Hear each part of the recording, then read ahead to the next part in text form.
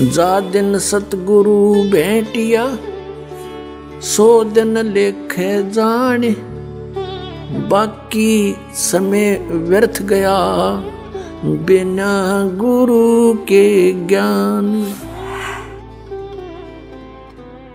तो पुण्यात्माओं, जिस दिन आपका आध्यात्मिक जन्म होता है, वो आपका वास्तविक जन्म है इस पृथ्वी मंडल पर फागुन की अमावस्या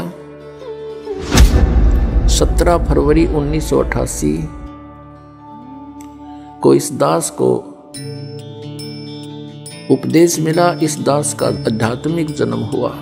तो कहते हैं, गुरु मेर करे तो काग से हंस बना दे। तो उन्होंने अपनी मेहर से इस दास को कव्य को हंस बनाया और कहा कि, आज के बाद तू उपदेश दिया करेगा। वो तो अंतर्यामी थे, समझ गए कि चिंता ना करना तेरे साथ रहूँगा। तेरे साथ मेरा आशीर्वाद सदा बना रहेगा। और फिर कहा कि विश्व में तेरे समान संत नहीं होगा। नौकरी त्याग दी। एक ही काम हो सके था, या तो परमात्मा का आदेश पालन हो सकता है, या फिर वो दूसरी नौकरी हो सकती थी।